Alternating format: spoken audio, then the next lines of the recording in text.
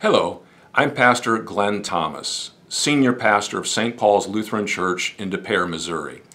And today I have a very simple but yet very profound message for you. It's comprised of just three words God loves you. Stop for a moment and let that sink in. God loves you. In Romans 5, verse 8, Paul writes, God shows his love for us in this that while we were yet sinners, Christ died for us. Stop for a moment and consider who would you die for if your dying meant that they could live? I suspect for most of us that list is quite short.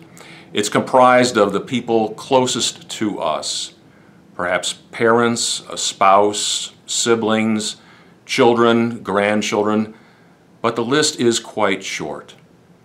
But think again about God's unconditional, unmerited love for us, His grace, that moved Christ to willingly and voluntarily lay down His life on the cross.